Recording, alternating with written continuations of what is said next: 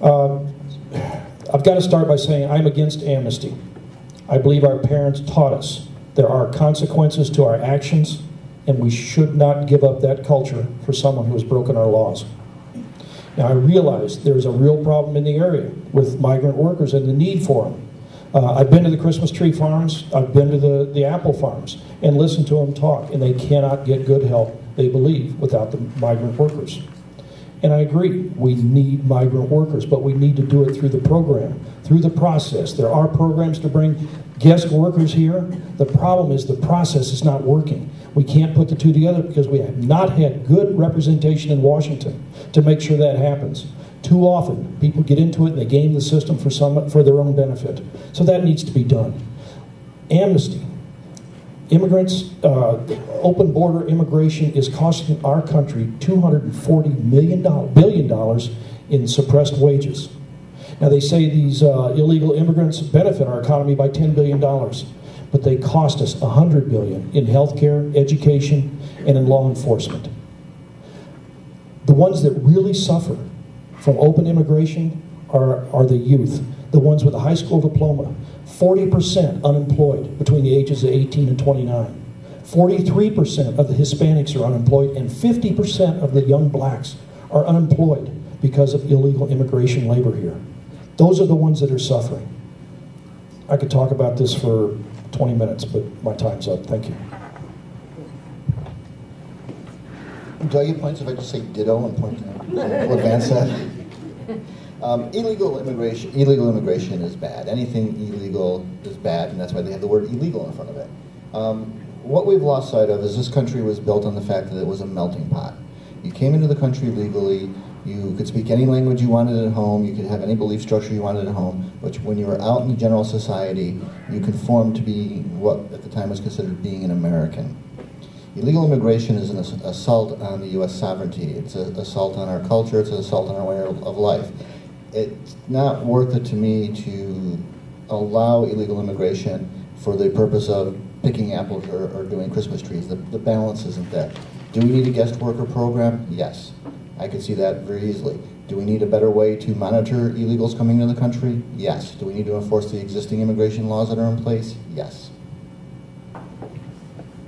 The problems that we hear about regarding illegal immigration or undocumented immigration are all the creation of a black market in labor. And, the, and, anytime you have a black market where you have people trading under the table, you have problems. Doesn't matter if it's drugs, doesn't matter if it's, if it's uh, knockoff Prada purses. Um, but this, we've created this illegal market in labor where companies and agricultural, especially big agricultural companies, are hiring workers that they can get cheaper because those workers can't demand fair wages because they're not documented. So we create the problem from the outset. I think we need to have a strong guest worker program, make it easier to get a work permit, and enforce strongly against companies that try to get around that. Then those workers will pay taxes, they'll pay into the system, then the problem's gone from that end. And I do, to answer the last question there, I do support the DREAM Act. We need an educated population. One of the ways that our ancestors, and a lot of you, I think most of you look European out there in, at your source, um, we came from all different countries, and we learned to be assimilated by learning the language, by getting educated here. That's what we need to do for any other immigrant group that comes to this country. Um, and I'd remind you all that when most of our ancestors arrived here, there was no such thing as, a, as an immigration system. We just got off the boat, signed a name on Ellis Island, and walked, walked off to get a job. Uh, we've, we've created the problem. And uh, another big element of it is NAFTA, which, as was mentioned before, it was a really bad deal. We dumped cheap corn on Mexico, ruined their agricultural business, and so the workers came here.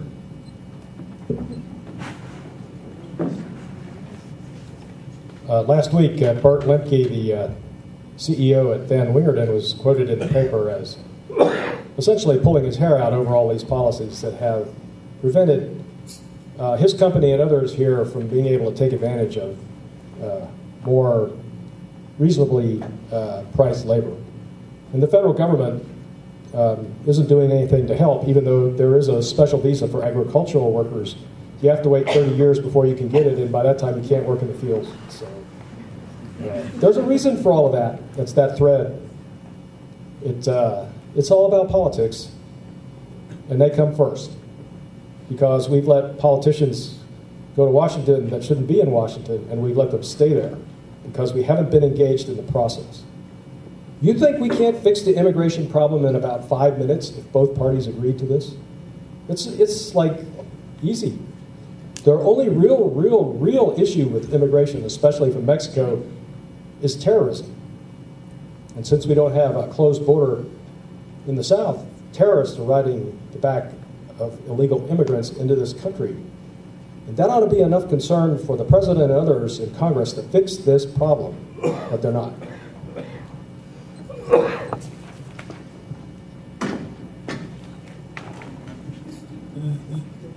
This is a, a problem like like many problems in the United States where uh, the status quo isn't working, and uh, and and w- what blows my mind is it seems like everyone in America knows that that the, the current set of policies are just broken. The system's broken.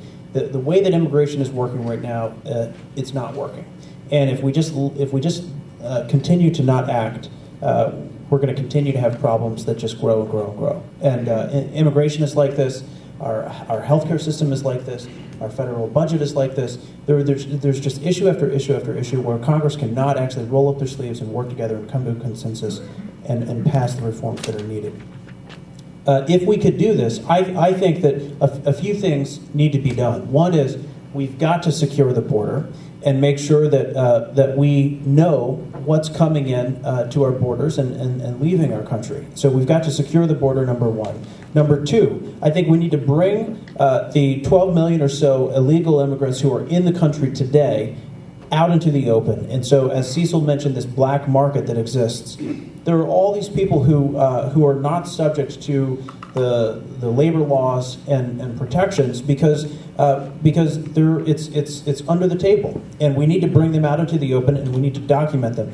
I don't, I don't think that we should put them front in the line to get citizenship. I don't think we should give them amnesty, but we need to bring them out into the open and start to deal with it. And then lastly, I think we need to develop a common sense policy moving forward about how to deal with the workers that come in. I think we need to have a robust guest worker program and, uh, and, and, and look at ways to, uh, to allow people into the country in a way that's, uh, that's legal and meets the needs of our economy and the demand of, of people coming into the U.S. Is my mic working? Is my mic working? Yes, it does. Starting out.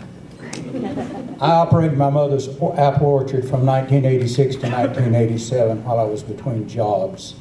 And the work was done by Hispanics. I could not hire Americans, black or white, period. And I, as far as this deal about, uh, I, I would say also most of them have a Christian background. They don't have a terrorist background. The main problem we have from Mexico are drug lords, and those guys are uh, they're thriving on an industry that that pe- supposedly respectable people here in the United States are are supporting buying the drugs. Now, I, uh, as far as this deal about uh, immigrants coming to America, most of our ancestors came through Ellis Island. They didn't pass any tests. They went through Ellis Island, got a little uh, brush here and there. Many of them didn't speak English, and they went to work and became U.S. citizens. And now we're all high and mighty about the Hispanics. Did you know that the way we wound up with the southwest United States, Texas, Arizona, New Mexico, 30 seconds, holy mackerel. Southern California, we literally stole it from Mexico.